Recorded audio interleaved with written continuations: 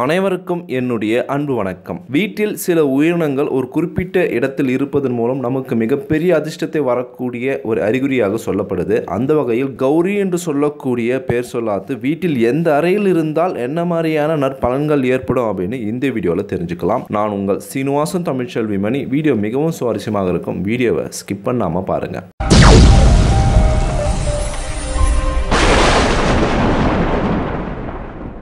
இது வரைக்கும் இந்த சேனல் நீங்கள் சப்ஸ்கிரைப் பண்ணாமல் இருந்தீங்கன்னா உடனே சப்ஸ்கிரைப் பண்ணுங்கள் மேலும் பக்கத்தில் ஒரு பெல் ஐக்கான் இருக்கும். அந்த பெல் ஐக்கானும் ப்ரெஸ் பண்ணுங்கள் நான் கொடுக்குற ஒவ்வொரு வீடியோவும் உங்களுக்கு உடனடியாக நோட்டிஃபிகேஷனாக வந்துடும் கௌரி என்பது நம்ம வீட்டில் இருக்கக்கூடிய ஒரு மினி ஜோசியர் அப்படின்னே சொல்லலாம். நமக்கு வரக்கூடிய நல்ல விஷயங்களும் நமக்கு வரக்கூடிய ஆபத்துக்களையும் முன்கூட்டியே எச்சரிக்கக்கூடிய முன்கூட்டியே சொல்லக்கூடிய அளவுக்கு சக்தி இந்த கௌரிக்கு இருக்குது அப்படின்னு நம்பப்படுது. அந்த வகையில் இந்த கௌரி நம்ம வீட்டில் இருக்கக்கூடிய அறைகளில் எந்தெந்த இடத்தில் இருந்தால் என்ன மாதிரியான நற்பலன்களும் என்ன மாதிரியான நல்ல விஷயங்களும் ஏற்படும் அப்படின்னு தெரிஞ்சுக்கலாம். பள்ளி அப்படின்னு சொன்னாலே எல்லோருக்கும் நினைவுக்கு வருது என்னன்னு பார்த்தோன்னா நாம் ஒரு விஷயம் நினைக்கும் போதும் நாம் ஒரு விஷயம் எப்படி நடக்கும் அப்படின்னு கற்பனை பண்ணிகிட்டு இருக்கும்போதும் பள்ளி சத்தம் போட்டால் அந்த விஷயம் எப்படி முடியும் அப்படின்னு கூடிய ஒரு அறிகுறியாக கருதப்படும். நம்ம வீட்டில் இருக்கக்கூடிய ஒரு ஜோதிடர் அப்படின்னு சொல்லலாம்.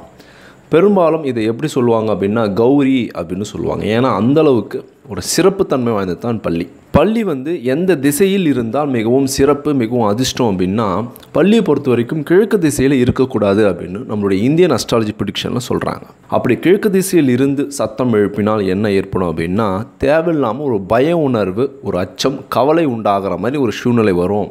அதுபோல் ஒரு உள்ளுணர்வு ஏற்படும் அப்படின்னு சொல்கிறாங்க மேற்கு திசையில் இருந்தால் என்ன பலன் அப்படின்னா வீட்டில் எதிர்பாராத சின்ன சின்ன சண்டைகள் மனஸ்தாபங்கள் கருத்து வேறுபாடுகள் ஏற்படும் அப்படின்னு சொல்கிறாங்க தெற்கு திசையிலிருந்து பள்ளி சத்தம் போட்டாலோ இல்லை தெற்கு திசையில் இருந்தாலோ என்ன பலன்? தெற்கு திசை எதை குறிக்கும்? பித்ருக்கள் இருக்கக்கூடிய ஒரு இடம். பித்ருக்கள் என்பது நம்முடைய முன்னோர்கள். அவர்களுடைய அருளும் ஆசையும் பள்ளியின் மூலம் நமக்கு தருவதாக ஒரு பொருள். அந்த திசையில் இருந்து பள்ளி சத்தம் போட்டால் அந்த திசையில் இருந்தால் நமக்கு ஒரு மிகப்பெரிய அதிர்ஷ்டத்தையும் ஒரு மிகப்பெரிய லாபத்தையும் ஒரு சுகமான விஷயத்தையும் ஏற்பட போகிறது என்பதற்கான ஒரு அறிகுறியாக கருதப்படுது. வடக்கு திசையிலிருந்து பள்ளி சத்தம் போட்டால் வடக்கு திசையில் இருந்தால் என்ன பலன்? வடக்கு திசை என்பது எதை குறிக்கும் அப்படின்னா குபேரருக்கான திசை பெருமாளுக்குரிய ஒரு திசை செல்வத்தின் அடையாளமாக கருதப்படும் மகாலட்சுமிக்குரிய ஒரு திசை அப்படின்னு சொல்லலாம். அந்த திசையில் இருந்தால் லாபம் அதிகரிக்கும் முன்னேற்றம் அதிகரிக்கும் தொழிலில் அதீத லாபம் கிடைக்கும். இந்த அளவுக்கு ஒரு நல்ல பலன் ஏற்படும் அப்படின்னு சொல்கிறாங்க தென்கிழக்கு திசை வந்து பார்த்திங்கன்னா பள்ளி அந்த திசையில் இருக்கக்கூடாது. அப்படி இருந்தாலும் சத்தம் போடக்கூடாது. அப்படி சத்தம் போட்டால் தீமை கஷ்டங்கள் ஏற்படும் அப்படின்னு சொல்கிறாங்க தென்மேற்கு திசையில் இருந்தால் வரவு லாபம் வரும். அதாவது உங்களுக்கு யாராவது கடன் கொடுக்கணும் அப்படின்னா அந்த கடன் உங்கள் வீடு தேடி வரும். உங்களுக்கு ஏதாவது வர வேண்டிய பணத்தொகை இருந்துச்சு அப்படின்னா அந்த பணம் உங்களுக்கு கிடைக்கும். வடமேற்கு திசையிலிருந்து பள்ளி சத்தம் போட்டால் உங்களுக்கு புதிதாக ஆடைகள் ஆபரணங்கள் பொருட்கள் கிடைக்கும் அப்படின்னு சொல்கிறாங்க வடகிழக்கு பகுதியிலிருந்து பள்ளி சத்தம் போட்டால் லாபம் அதிகரிக்கும் அப்படின்னு சொல்கிறாங்க ஆகாயத்தில் சீலிங்கிலிருந்து சத்தம் போட்டால் நீங்கள் நினைச்ச காரியம் வெற்றியில் முடியும் உங்களுக்கு வெற்றி கிடைக்கும் என்று பொருள். பூமியிலிருந்து சத்தம் போட்டால் காரிய சித்தி ஏற்படும். நீங்கள் நினைச்சது அனைத்தும் நிறைவேறும். இப்போ எந்த அறையில் எந்த இடத்தில் இருந்து சத்தம் போட்டால் என்ன பலன் அப்படின்னு தெரிஞ்சுக்கலாம். பள்ளி இருந்தாலே வீட்டிற்கு என்ன பலன் அப்படின்னா அந்த வீட்டில் நேர்மறையான ஆற்றல் இருக்கிறது தெய்வீக சக்தி இருக்கிறது என்று பொருள். என்னுடைய நண்பர் வந்து புதிதாக ஒரு வீடு வாங்கணும் அப்படி முடிவு பண்ணியிருந்தார்.